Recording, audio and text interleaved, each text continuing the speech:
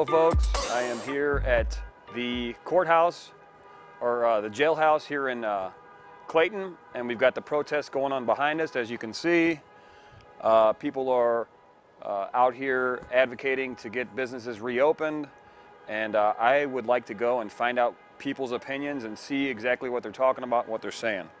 So, okay, so we are here at the Open Up Missouri uh, demonstration or protest, whatever you want to call it. Everybody's honking their horns. Uh, I wanted to come out here and document this, so that's why I'm out here. Somebody's on. A, we got somebody on a loud mic uh, over here. I mean, there's just a handful of people. It's mostly people driving by with their cars.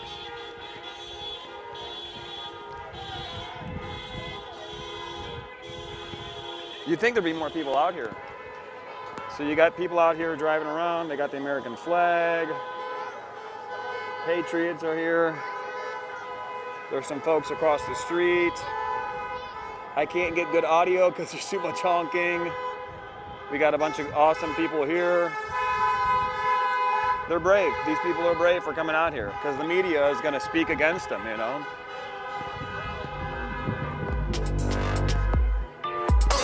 Hello. People over here, just a handful. Thank you.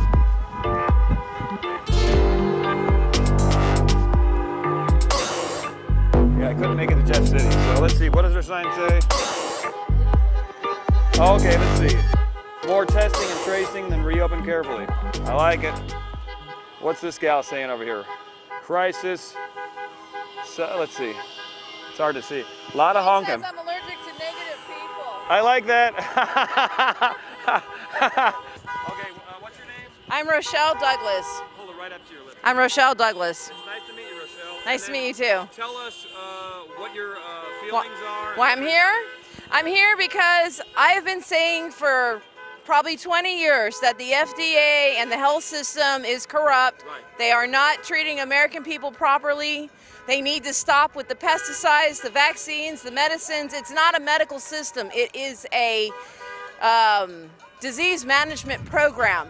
Okay, food is health care.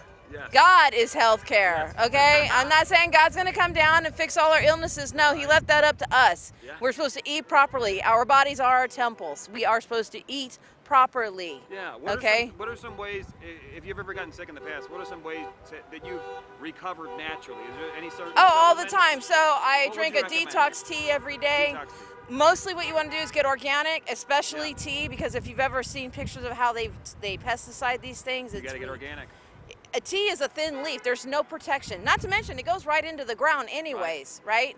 But organic, detoxing your system every day, keeping your gut biome. Everything is in your stomach. Yes. If your stomach health is good, then the rest of you is going to be good. I I, it. have been in Walmart, I don't know, 100 times around, and Walmart's crazy because they got thin aisles. Oh, sorry. You're fine. And um, people reaching over your carts and everything else, right? Right. Yeah. I have people that are immune compromised at home, and I say if you are immune compromised, stay home. If you're immune compromised. If you are, which which is unfortunately, sadly, the majority of the American people, because of the medications and the food and everything that we're taught to do. Oh, yeah. Again, medical health care is not health care; it's disease management. You ask any of them, how do you get rid of these problems? And they will tell you, I don't know, just take this drug and you'll feel better, which causes more problems in the future. Most people don't know that aspirin causes joint deterioration. That's what I hear. Now tell us a bit more about your reasoning behind being out here and supporting the cause uh, for having Missouri reopened. Well, first of all, I'm a native of California. Okay. I moved here three years ago, and I love it here. I love St. Louis. Woo! I am out and about. I love being here, and I just want the American people to wake up. Wake up, America. It's time to wake up. Cool. And I want to be here to support the people in Clayton. I live just up the street here, and it's very important for everybody to come together, understand what's going on in our world, and say no to the tyranny I that's going on. Perfect. Well, thank you so much. I appreciate your information. All right, so we're going across the street. Hopefully, you don't get hit. Let's go see what these guys have to say. Hi guys, what's the sign say?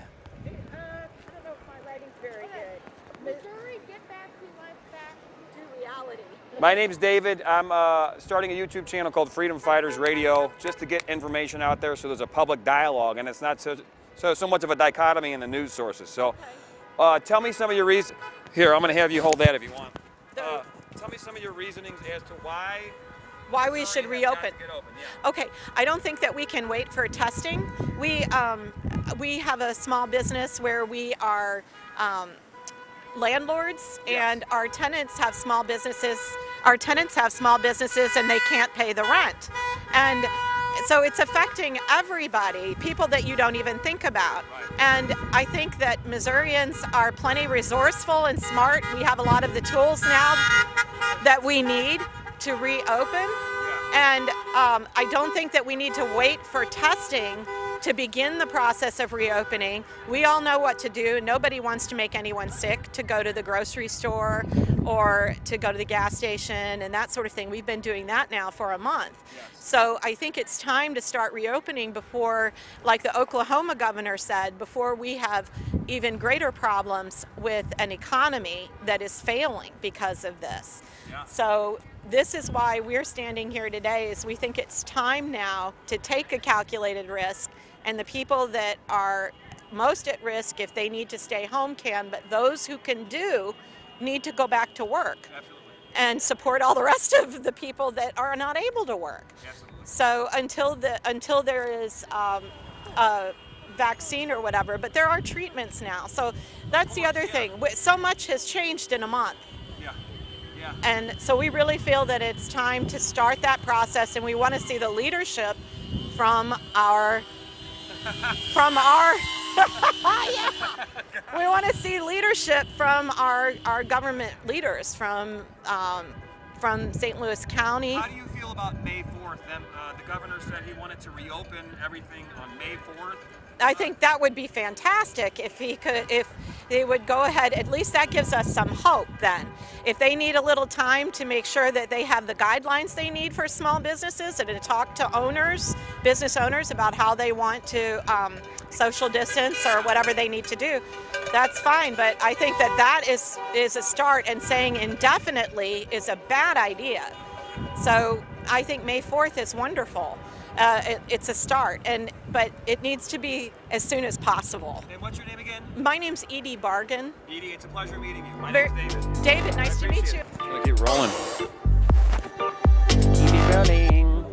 Got Channel 5 out here. 5 Alive, I love it. Okay, so these people left already. Hello. I want to see what the signs say. Okay, no economy is worth uh, more than my life. Okay, very good. Minimizing casualties. We're sorry for your inconvenience. Okay, very good. And then let's see this. Okay, land of the free. I love it. Let my people go. Yes, here. Uh, so, my name's David. Uh, I'm starting a YouTube channel. It's called uh, Freedom Fighters Radio. Okay. So, if you'd be willing just to share with us, uh, what is your, uh, what, what brings you out here today? What brings me out is freedom brings me out. Right now, we have two people in St. Louis County who are tyrants, who are running this St. Louis County as, as, as tyranny. It is. We have Sam Page and Lisa Clancy, who can care less about anyone's freedoms. We do not need the government to tell us what to do. Right. You can give us guidelines, you can give us, you know, warnings, but do not tell us what to do. Why is it that people at Walmart can go and, and socially distance themselves, or someone at the Home Depot can social distance themselves, or at a liquor store, but we can't do that at church? Why is it that they are closing down our churches? There's no reason for that. We're standing up for the Constitution. We have a First Amendment right to assemble at churches if we choose to do so, and you also have a right to stay at home if you choose to do so. Absolutely, yeah. So, yeah. so that's we're just we're standing up for our freedom because if we don't stand up for our freedoms now, we won't be able to later. So someone has to stand up for, for us, and so that's what we're all out here to do. So we want to take our government back Absolutely. because we never gave it to them. You know, the uh, the Declaration of Independence states that governments are they deem their powers from the consent of the governed. Well, I'm the governed. We're the governed, and we have not consented. So this is tyranny. and we're fighting against it. Uh, how do you feel about um, uh, what is it? May fourth, the governor said he was going to reopen Missouri. Is that too soon? Way late? too late. Too late. Okay. It should have never, he should have never shut the state down in the first place. What should have happened, like I said earlier, give people guidelines, let us know, give us facts, and let us decide for ourselves. If you don't want to go to a restaurant, then don't go. Right. But if the businesses want to stay open, if I want to expose myself to COVID or anything else, then that's my right to do so. It's not the government's right to baby me and tell me what I should and should not do. If you want to stay at home, stay at home because I know people who need to stay at home and that's what they do because they're at risk because they have asthma or they have other type of respiratory diseases. I understand that, but I don't have those things, so why should I have to stay at home? So freedom, you know, freedom is not free, so it, it's going to cost something here. I appreciate you being out here. Well, thank you. Absolutely. Yeah. Absolutely. Thank Uh, you. Would you please state your name? Zena Hackworth. Okay, Zena Heather. I, I appreciate it very much. God bless you for uh, being out here. Well, thank you. God bless you too. Very good. Very good. I want to go and grab Oh, that. that's right. You're fine. You do need the microphone back. Yeah. I love it. You got the American flag Yes, out. yes. Okay, I'm still recording. Uh, I'm an independent journalist. I'm starting uh, a, a YouTube channel called uh, Freedom Fighters Radio. So I'm still trying to figure out the right name for it, but pretty much it. Uh, so tell if you, uh, I don't know if you want to hold that or if you want me to clip you up. Um, I was just going to ask you a quick question, or I can hold it up to you. Okay. Um, so let's see. Uh, what what are some of your reasons why you believe Missouri needs to be opened up uh, as soon as possible? Basically, for the same reasons that Zena, you know, said that I mean we. We are the governed. We elect the people that are in our government, although we did not elect Sam Page, you know, because of the, the issue that we had in St. Louis County government. Um, so I am just here to make sure that our freedoms are not taken away, that we've been silent too long and in general, and we need to speak up and let people know we are not the silent majority. We are speaking up and we do not want our freedom taken away and just treat us like adults. As Zena said, give us guidelines. Yeah. We're adults. You know, we can make decisions on what's best for us and our families. Very good. Very good. Thank you so much. You're welcome. God bless you for being out here. God bless you. Yeah, it's very brave. You, you want, So you know, what- the You're trying to government Let's get the let's get this dialogue- literally said, I Let's get this dialogue on some tape. force the economy to reopen. But you know what? You don't care about people's lives. You don't care about. You do. do. He's Not, a what, here's what you don't care about. You don't. literally You, brought you you do not. Listen, what do you know about the First Amendment? to the hospital, What do you know able to get about the the First Amendment? Nothing. What do you have? You ever? Our hospitals are overloaded Oh well, I'm right so now. glad you went to high school. Then Because you I didn't get a very good see it every education, obviously. So here's the thing: people You have. worked- so hold you were in on. People in this When country. you ever saved a life with people in. People in get to talk this to him about that. country, people in this country are free to make their own decisions.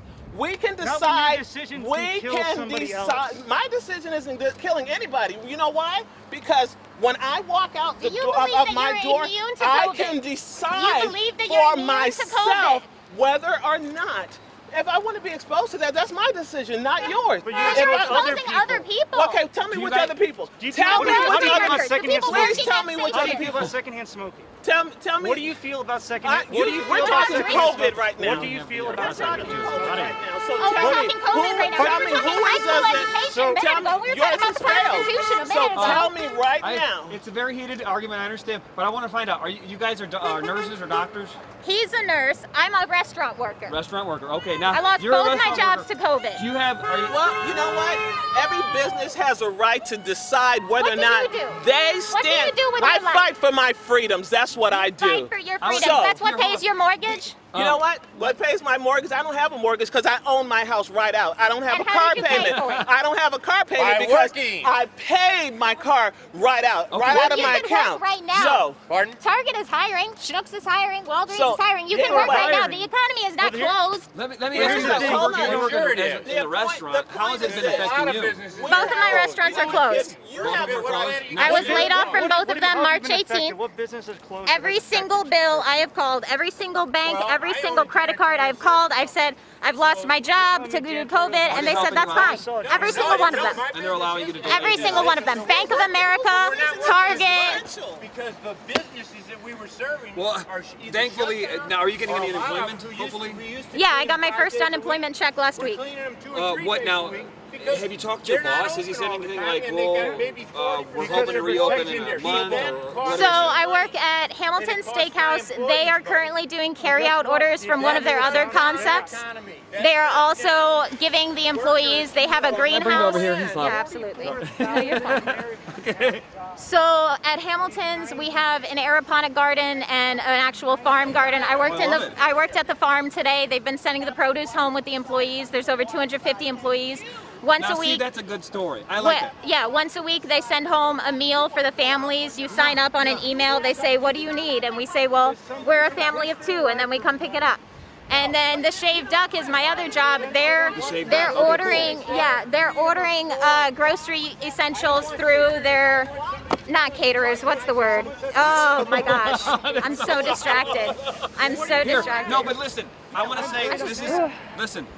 I'm here with this uh, beautiful young gal, and she's telling me about how uh, right now her businesses she's working for are actually helping to support the community by helping giving out the food uh, that they have in their community gardens and whatnot to uh, the people who are uh, out of work. So this is a, this is a, now this is a good story. This is what you want to have. Right, right. I'm sorry. I'm sorry that not everybody has a boss that is able to help feed them. I'm sorry that not everybody has an employer that is able to help them in some way. But if Bank of America is willing to forgive a debt, Yes, yeah. you can make it through. Yes. And honestly, the banks are gonna get bailed out. We all know that. Don't Yeah, pay your mortgage. Buy your groceries first.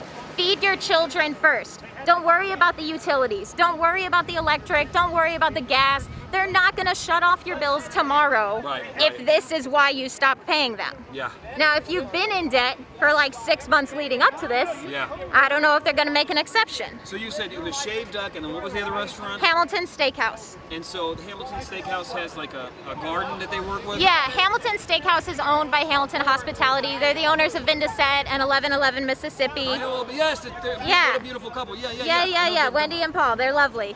Um, literally, I have baked goods from Wendy in my kitchen right now. She bakes them every week for us. Now this is what people need to hear. It's something, Yeah. a good-hearted American story about how people are coming together and helping Yeah. each other out. You know, Yeah. not I mean, we we we wanted to divided enough, right. you know? I know. We wanted to show up today because there are so many people that are gonna stay home today because they're afraid, and they. I don't want to say that they should be.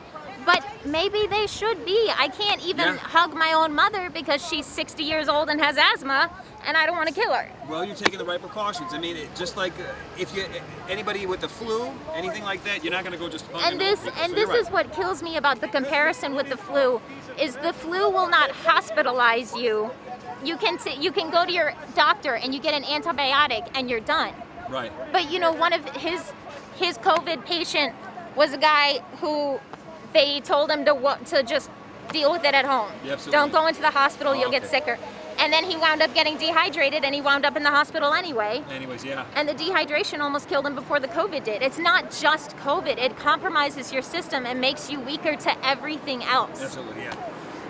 Well, I appreciate you uh, being Thank out you. here, and thank you for expressing that. And that's a beautiful thing. I hope Thank that you. they continue to uh, help out the community, and They've hopefully awesome. you guys get open up soon, so you can Right. get back to work as long Yeah. as this whole COVID blows over. We we have we have plans right now. I was talking to Paul and Wendy about it today. The plan is we're gonna wait for the CDC to tell us what the proper spacing is, Right. and then all of our dining rooms will be changed accordingly. If Okay. we have to keep our tables six feet apart to keep people safe and Yeah. still feed them, that's what we're gonna do. We have every intention of reopening, but not at the cost of people's lives. I love it. I love it. You made your point, Thank and you. It's, it's been documented. I appreciate the help. Thank you. And thank you for being out here. Because we have to create a dialogue. We can't be just a divided country. We can't be Right. divided America. Right. And it can't be a silent half hiding in their homes from the angry majority who's willing to risk whatever. It's wild. you know? is a wild, times. wild time. Okay, cool. Very good. Thank you. Thank you. Why We have change freedom. all I am. the speed limits I down am- to 25, then no one would Okay, ever we're gonna let them talk. We'll be And we will be back in just a minute. Thank you, beautiful folks. I love it. She had What is some your name? uh, David. David. Okay. Yeah, and she had some some wonderful stories. She was telling me about how the company she was working for, uh, the restaurant industry, she's been getting hit herself. Stay home so that you don't get get exposed to COVID nineteen. You can't worry about it. Uh, but she was telling me some wonderful stories about how uh, the the restaurant she works for has a community garden, and they've been sending foods and vegetables home with her, and they're hoping to reopen. And they're taking they're going to take the steps necessary, I guess, to uh, six feet and all that stuff to. to Oh, reopen. so she's a hypocrite, is what you're saying? Well, not She is, no, my- no, no, listen. no, no, no, no. She's Right. out there telling people they shouldn't be going out. Nobody, and no one said that they were not going to take precautions. No one said that we need to keep everything open and not do take precautions. What Right. we're saying is. You make, put people back to work and let them know what the precautions are. Yes. Let people know that they need to take certain da, da, da, da, and let them decide for themselves. And they say, okay, so she's a hypocrite. Basically, it's hypocrisy because you can't say you can't you can't say, well, you shouldn't be here and you shouldn't be doing this, and then but I'm waiting for my job to open But so that to I Home can Depot, go go to back. Lowe's. Yeah, yeah. It makes no sense. That- it makes Well, no my job- sense. My job's not coming back. What What are you working at? Well, I work on a study, uh, medical research study, and uh, we interview people in homes. We're not allowed to do that. I'm going to hook my other mic up. Hold on for. Two. I do, it's a social research study. I'm an interviewer. Okay. And Uh, if you can hear oh, my voice is gone, but um, Okay. yeah, I do. So you're, so you're doing medical studies, and you said you can't do it anymore because. Because of course we can't go into people's homes. That's how the studies are conducted. The So you're hoping to interviews are conducted. So you can get back to work. Well, if the study's still there, you know, you don't know how many jobs will be lost permanently. Yeah. Um, the restaurant business, you know, she's saying her restaurant's going to be open. How does she know it'll ever open again? This is a personal decision. Yeah. Yeah, people people have personal decisions to make. If you work in a restaurant what freedom is, and yeah. you Yeah. do not want to go in, you can let your boss know. You take take whatever it is, whatever uh, means necessary. But people have to go to work. People are dying. People are losing their homes and everything Yeah. Why? for a virus. Yeah, for absolutely. a virus. This is this makes no sense. Yeah. This makes absolutely no sense. Because why is it? Why did they when when Ebola came out came to the United States? Nobody did all Nobody of this. shut anything down. No one shut anything H1N1, down. When H1N1, I have Yeah. a son who was in the hospital because You of think H1N1. driven? I don't. I can't say that it is or is not. It's just. It's just ridiculous. It, I- there are people who are who are making decisions who aren't thinking this through. I shouldn't add, I shouldn't add my personal opinion in, but I think that there's some. I think that the left has been using this to essentially. They've been politicizing it. You know. They have been. Yeah. It started out with bad information. You know, these sky high predictions of dead and China Americans. lying, of course. Yes. Right. And so they scared us all into submission briefly, but we've now figured out. I'm sorry. I've never been you- scared into in submission. I've been leaving my house ever since. No, I have Of too. course So I- it. I have I, I've been going out wherever it is open. I'm there. Ev- Yeah. Almost Yeah. almost every day. I am not going to let someone just stop me because you know they're sitting up in their little mansions deciding what it is I can and cannot do. You know, we went to the governor's mansion in Jefferson City today. And Oh, you were out in Jeff City. I was in Jeff How City was today. Was it it was wonderful. It was a wonderful turnout. But I went there today, and when we got to the governor's mansion, they had some a gardener on the grounds. And he was out there working. He was out there working while there are other people on the other side who are looking to work, and the governor needs to wake up and say, "Hey, look, we need to let everybody get back to work." Yeah. And I don't think that man had a mask on. No, he did not. He did not have on a mask. Okay. Ladies, I appreciate it. Uh, thank you for being out here. It's very uh, bold of you, you know, and Well, thank keep, you. keep up the good work. Well, thank you. Yeah. Trump 2020. Yes. Oh, right. I love it. Bless you. Yeah. Hello. What are your guys' opinions about the whole shutdown and everything? Hi. Hi. I think that individuals can think for themselves and we're human beings and we should be able to make choices about our own health. It is not the place of government to impose their ideas and their regulations on every aspect of every human being's life. I believe we know how to keep ourselves from breathing on each other. I think we know how to keep ourselves from sneezing on each other. I mean, for crying out loud, we are not two years old. We can do this ourselves. We don't need the government to strip away our livelihoods, our jobs, our businesses, completely destroy our country's economy and every and every and so many people's lives. We don't need that to happen because no matter what, People live and die with diseases all the time. That is a natural thing that happens in the world. That is natural course of nature.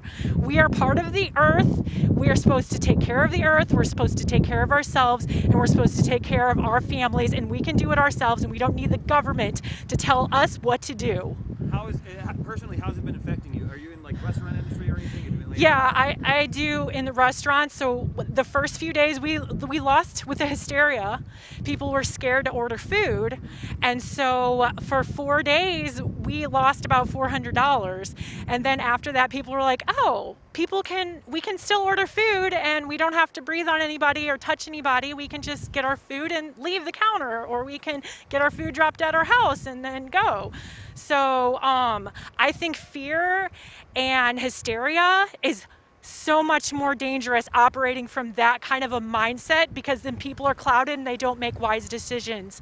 People need to operate from confidence, from faith, from self-respect, self-esteem, and any any any um any encouragement that they can get from from other people. You know, that's what they need right now. They don't need fear and hysteria. They need faith and they need sense, common sense. Faith to get through it all. That's right. Absolutely. I appreciate it. Yeah, thank, Thank you. you so much. My name is David. I'm shooting out here. I'm starting a new channel on YouTube, Freedom Fighters Radio. Good so for you. it's Good just to dialogue everything and get Good for you. uh, the truth, you know, and not That's fake right. news. right, Because I can't deal with fake news anymore. yeah, exactly. So we made it through the Clayton protest and uh, um, got some good uh, opinions from people and some good information. So uh, thank you for joining us today, and uh, hopefully uh, there'll be some other type of uh, event we can come out to and get more people's opinions and and um, keep making America great the way that it is. All right, God bless. Reporting from Clayton at the uh, uh, Open Up Missouri protest. This is David for Freedom Fighters